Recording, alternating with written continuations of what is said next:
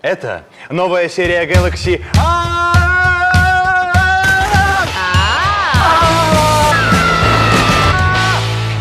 Всего от 833 рублей в месяц.